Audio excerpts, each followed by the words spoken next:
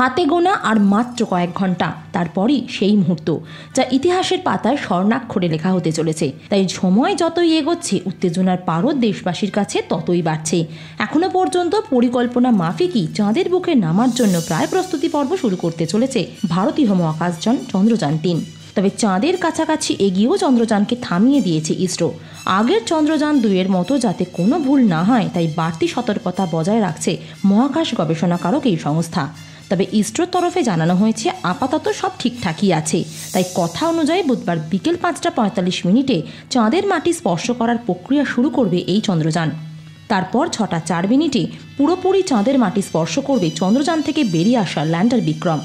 সেখান থেকে চাঁদের বহু অজানা তথ্য পৃথিবীতে পাঠাবে এই বিক্রম। কলঙ্কে ঘেরা চাঁদকে সামনে থেকে দেখতে কেমন লাগে তা নিয়ে যথেষ্ট উৎসুক আট থেকে আসি সকলেই। ব্যুরো রিপোর্ট নিউজ বর্তমান।